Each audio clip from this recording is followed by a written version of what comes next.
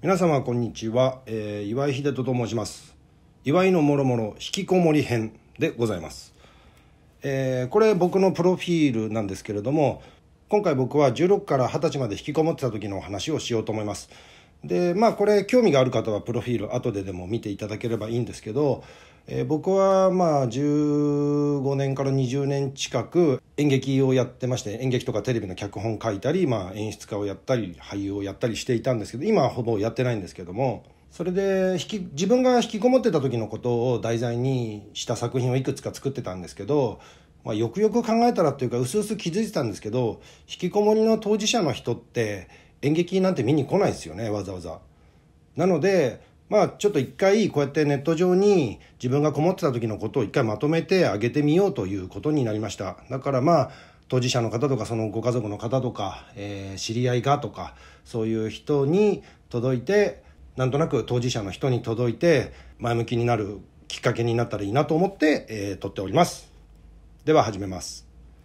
えー、祝いのもろもろ引きこもり編目次です、え、今回話すのは1引きこもりになった流れ2きこもり中のこと。3結局どんな感じで外に出たかです。これ以降のことも今後上げていこうとは思ってるんですけども今日はこの3つを話したいと思います。1引きこもりになった流れ、えー、小学生時代ぶん殴り系の父のもと僕は育ちました、まあ、家の中がまあ結構腕力のヒエラルキーっていう感じでしたね。で僕個人としては世界の認識がちょっとおかしくて今考えると他人が生きてるっていうふうに思ってなかったんですよね。なんだろうこれなんか脳の病気とか精神の病気なんですかね。誰か知ってたら教えてほしいんですけどだからまあ言ってみれば自分が主役の映画に出てるような感じでした。ずっと。で、まあ他の人をぶん殴って言うことを聞かせる感じでしたかね。まあ家の中が腕力のヒエラルキーだったんで、それを外に持ち出したという感じでもあるんですけど、例えば小学校の校庭でブランコで遊んでる人がいて、そこに並んでる、並んでブランコ待ってる人がいたとして、もう僕そういう列、並んでる列とかを全部無視して、もうどんどん割り込んでって、で、ブランコ乗ってる人引きずり下ろして自分が乗って、もう全然エンジョイできちゃうやつで、しかもそれをね、並んでる人が咎めに来たら、秀とちょっとやめないとかって咎めに来たら、平気で殴って黙らせちゃうみたいな、まあ、かなりやばいやつでしたね。ひどい人間でした。そんな生活をずっと続けてたんですけど、ある日、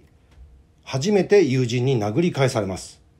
もう本当に初めて。それまで、だから小学校5、6年の時なんですけど、殴り返されたのが初めてね。まあそれはまあ、幸か不幸かって話なんですけど、まあでも、まさか殴り返してくるなんて思ってなかったんで、え他の人たちも生きてたん？っていうふうになります。もうそれまでの世界が音を立てて崩れ落ちるような感覚でした。いわゆる大混乱です。え今までエキストラぐらいにしか思っていなかった他人たちが全員自分と同じぐらい、いや、それ以上に意識も欲望もあって自分と同じようにいろいろ考えたりしてるってことは、そんな中でこれから先どうやって生きていったらいいの？っていうふうにもう大混乱です。ただ、表立ってはふざけ倒して暮らしてたんですけど、内心はもうずっとこう世界とか他人に対して冷や汗をかきながら暮らし始めることになります。で、中学に入ってもその混乱は変わらず、相変わらず、こう、どうやってこんなややこしい他人たちのね、欲望とか思考とかの中で生きていけばいいんだろうっていうふうに、まあその悩みはまあ中3まで続き、やがて一つの結論に達します。そうだ。まずは一人で生きれるようにならなければいけない。意味がわからないです。で、なぜそう思ったかっていうと、今となっては多分ですね、尾崎豊の受け売りの可能性大です。当時ね、尾崎豊の大ファンだった僕は、ヨレヨレになった自意識を尾崎豊の歌詞に託してですね、特に実践的でないことも、うん、尾崎が言うならそうだね、みたいに、半ば宗教的になっても盲信しちゃっていました。つまりあんまり、いや、全く尾崎豊のせいではないです。多分ですけど、他人の気持ちを伺い続ける自分、要はだからもう一回世界がバラバラになって他人が何考えてるのか分かんないってなった瞬間にもうみんなの気持ちを伺い続けるようになっちゃったんですよね自分が。でそれがすごく嫌で伺い続ける自分っていうのを消し去るためには確固たる自分を完成させる必要があったってことで一人で生きれるようにならなければという尾崎豊のメッセージが刺さりすぎちゃったんですね。で、その一人で生きれるようにならなければいけないっていう信念のもと、中学卒業後すぐに高校入るんですけど、中退して、まあこの中退っていうのもね、尾崎豊の王道ですよね。影響。で、単身静岡に住み込みで働きに行きます。失敗です。当時ですね、中学の友人としかろくに話したことがなかった僕はですね、はるか静岡の地で優しく話しかけてきてくれる大人たちの輪に入ることができませんでした。あの、寮で一緒に暮らしている人たちに食事や映画に誘われても、すべて断っていました。それも自分の中では、いや、だって一人で生きるんだから、別に誰の助けも借りねえよ、みたいな感じで言い訳をしつつですね。それでいて、毎晩電話で母には、もう帰りたいっつって泣きついておりました。思春期真っ只中のね、当時15歳だとしても、もうトータル的には謎な行動すぎて今もちょっと理解しがたいんですけど、ただ、誰かの世話になるっていうことをね、極端に避けてたのかもしれないですよね。その一人で生きるっていうことが先行しすぎてて。だから大人になんか助けてもらうものかとかっていうふうに。でもね、まあさっきも言いましたけど、母には泣きついてたんですよ、毎晩。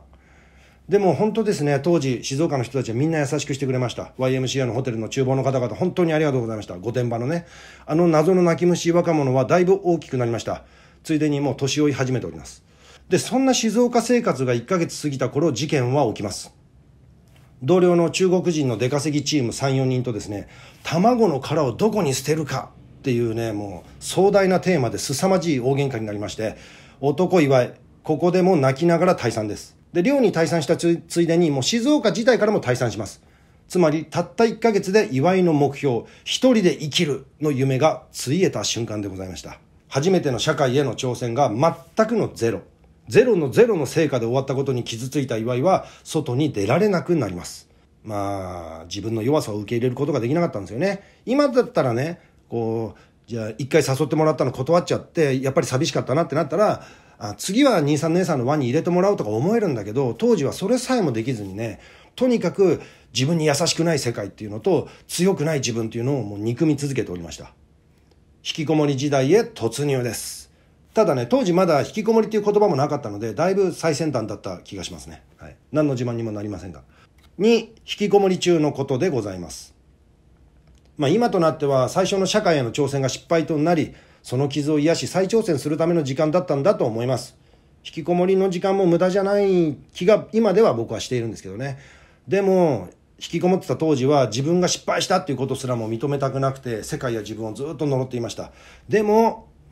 ああ、外に出たい友達に会いたいっていう気持ちは大いにありました。ただ、外に出たい友達に会いたいっていうふうに思っても、例えば外で友達に会ってもね、あ、高校辞めて働きに出たはずなのに、ヒデとどうした？とかね、無垢な感じで言われるのもね、ほんと激痛だったし、外に出て楽しそうにしたり、ちゃんと働いてる同年代に会うのも本当につらかったです。でね、皆さん、悪いことは言わない。まあ、これは若い人たちなんですけど、若いうちにね、弱みとか自分の課題を話せる友達を作っといてね、損はない。損はないっていうか、作っといた方がいい。あの、作ってなかった俺が言うのもね、なんだけど、偉そうだけどね。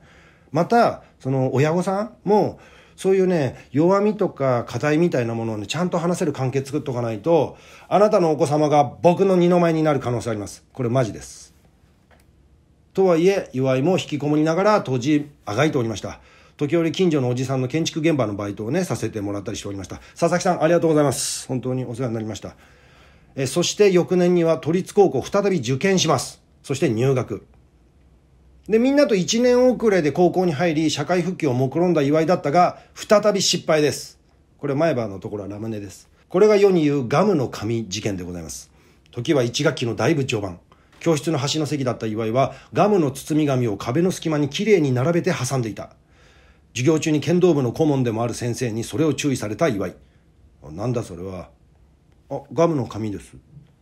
なんでそこ挟んでんだいや、おしゃれだからです。捨てろ。嫌です。捨てろ。嫌です。捨てろ。嫌です。というね止まらない高尚な押し問答の果てに先生は思いっきり殴るふりをしてきたんですね。でそれに反応した岩井はもう思いっきりガクーンってビグーって怯えたんですよ。その怯えた岩井を見た先生は満面の笑みで授業を再開します。何だったんだ今のはと。怯えてたらその後職員室に呼び出された岩井は先生からこう語りかけられます。岩井さっきはカッコつけさせてくれてありがとうな。怖い岩井退学、いや、退学岩井、晴れて引きこもり2年生に突入でございます。ありがとうございます。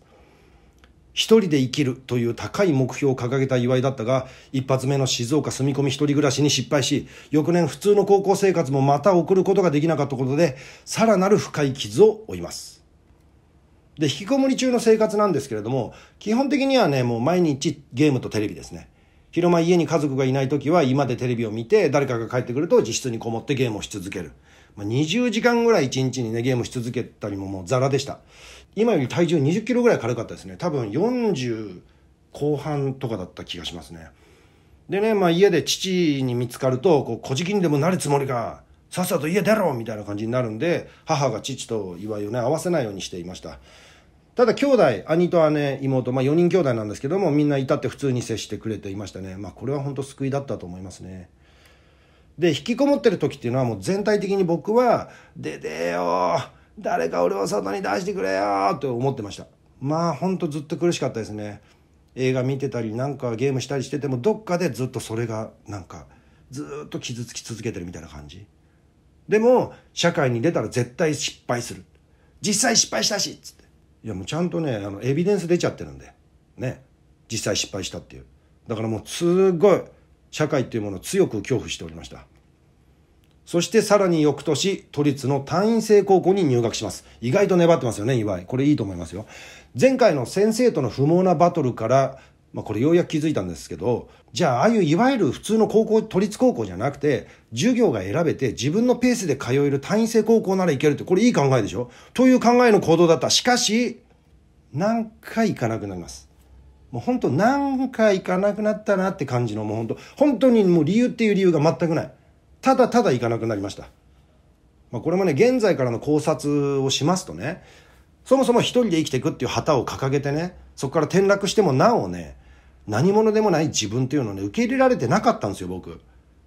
あのー、やっぱ通用しなかったのにね、すげえ寂しかったのに、その寂しかったっていうことすらも受け入れなかった気がするんですよね。だから、その、たとえ単位制の高校に行ったとしても、なんか学校が面白くないとか、面白い友達がいないとかって、自分が面白くないんですよ、要は。自分、面白い自分じゃないからそこにみんなも寄ってこないっていうだけなのに、全て外の世界のせいにしていましたね。つまりね、自分が変わろうっていうふうにしていなかったんだと思うんですよね。で、3つ目の高校も行かなくなってしまった岩井。まあ、こっからちょっとステージが上がるっつうか下がるっつうか、さらに深みですよね。もう泥沼です。ああ、もう高校は無理なんだなと思って、さらに家を出なくなります。いくつかバイトに挑戦しても1日で辞めたりしてましたねバイク便とか喫茶店とか本当に喫茶店は1週間かなバイク便はねマジで1日で辞めましたね逃げ帰りましたで18歳から20歳までの記憶ほとんどございません。これすごくないですか？18歳から20歳までってみんなね皆さんめちゃめちゃ楽しんでた時でしょ？ここの記憶マジでないから俺。返して。でまあその18から20歳までその間やっていたことといえばゲーム。まあこれね、しかもね、スーパーフォーメーションサッカーっていうね、もう縦スクロールのすげえ、もうろくでもないゲームなんですよ、今考えると。でもね、これ、ま、マジで24時間、もう永遠にやり続けたりしてね、最終的にね、あの前半だけで45点取るようになってからね、もうどういう、なんか、すごいよくわかんない気持ちになってやるのやめた。で、他には、ワウワウで前田明のリングス、ワウワウで映画を見続け、ワウワウでイタリアのサッカーを見続けました。と、なぜかワウワウ三昧の日々を送ります。でもね、ずっと内心は焦っていました。このまんま、俺の人生は何も起きずに終わってしまうのだろうかっていうふうにね。しかし意外にも、このワウワウ三昧の日々が意外にも功を奏します。ワウワウでリングスを見続けたことによって、公園で木を切るために夜外に出るようになったんですよ。あの当時ね、ワウワウのリングスって、オランダ軍団っていうすげえ屈強な奴らが前田明をね、すごいいじめる時があったんですよ。もう倒れてる前田明踏んだりとかしてて、だからあんまりにも悔しくて、まあ当時僕47キロぐらいだったんですけど、いつか前田明助けに行かな行かなくちゃいけないと思って、もう近所のね、小金井公園っていうところまで、あの通販で買ったサンドバッグ持ってって、あの、木蹴ってました、夜中に。はい。で、ワウワウでイタリアのサッカーを見続けたことで、中学時代のサッカー仲間に連絡取ってね、サッカーをするためにね、夜外に出るようになったんですよ。で、なんか、中学の時の友達に会ってもね、なんかあんまり引きこもってるとかそういうことね、触れないでいてくれたんで、その、その友達とは一緒にサッカーをすることができました。そして、ワウワウで映画を見続けたことによって、結果的にはこれが外に出る決め手となります。そして3に入ります。結局どんな感じで外に出たか。すいませんね、もうすごいな文章量。えー、引きこもったまま二十歳になった岩井は実家の2階のベランダに立っていた。死のうと思っていたのだ。飛び降りですね。2階で死ねますかっていうツッコミはなしでお願いします高校に3つ行ったりいろいろ働いたりしてみたけど全て失敗に終わった俺はもっと何者かになれるとかずっと思ってたけど実際には何者かになるどころか普通に高校に行くことも普通に働くこともできなかったそれでもいつか俺はと思っていられたが二十歳となると話は違う。二十歳は大人だ。何者かになるとしたらとっくになってる年齢だ。つまりこの人生は失敗だ。と思いました。岩井はベランダで今までの特に波のない人生を思い出そうとしたがこれといって特徴もない。スーパーフォーメーションサッカーのことぐらいしか思い出せない。情けない人生だなとしか思えませんでした。そして岩井はベランダから飛び降りれなかった。飛び降りれなかったです。ここでも失敗です。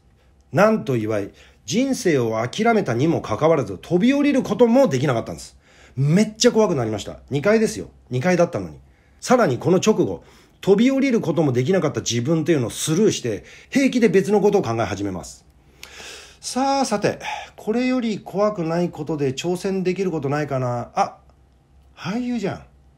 そう。さっき言いましたね。ワウワウで浴びるほど見ていた映画で盛大にカタルシスを感じていた岩井は心のどこかで俳優か監督になりたいと思ってたんですよ。飛び降りれなかったチキンぶりを覆い隠すためにそれを思い出し心に決めます。まあね別に飛び降りて死ぬことはいつでもできるし俳優だか監督だか目指してみて、絶対無理ってなるまで挑戦して、で、本当に無理だったらいつでもこのベランダに戻ってくればいいじゃん。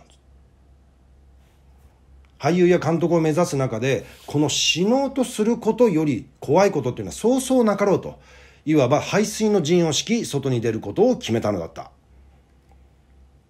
まあ、もちろんね、当時、俳優の仕事も監督の仕事も実際に何をするのか全く分かってなかったんですけど、まあ、いずれにしても日芸だよなと。軽く心に決めた岩井は、まずは大検。大学入学資格検定ですね。まあ今高卒認定って言うんですけど、大検を取るために大検の予備校に通い始めました。もうめっちゃいろんな人種のいる大検の予備校に通いながら、地元のカルチャースクールで初の舞台出演などをしながら、そろりそろりと外の世界に出て、現在に至ります。だいぶはしょったけど、今回はここまでです。まあ、ここから先のこととか、なんか途中の今話したことのなんか隙間隙間のことは、もし気になる人がいたら、なんか教えてください。そしたらそこだけ拡大して話したりとかもしますんで、4年間ぐらいのことをざっと20分ぐらいで話したんですけど、で、ここから先のことは追ってちょこちょこ出してみようと思ってます。そして最後に、今こもっている皆さん、まあ、いくつだとしても、とりあえずは死ぬなと。そして元気になるまでは休んでください。で、休んでもう逃げられるだけ逃げてください。で、なんかいけそうな時あるじゃないですか。なんかいけそうだなっていう時には、もう思い切って挑戦してみてください。このように失敗ってないんですよ。失敗だと思っちゃうことはあるけど、ぶっちゃけ失敗っていうのはないと思います。前進しかございません。そう思ってると結構楽です。だから失敗だと思っても違う、なんかを得たぞ。あ、あれやっちゃいけねえんだって、あれやっちゃいけねえんだっていうものを得てるんで、前進なんですよ。以上。ご視聴ありがとうございました。岩井秀人でした。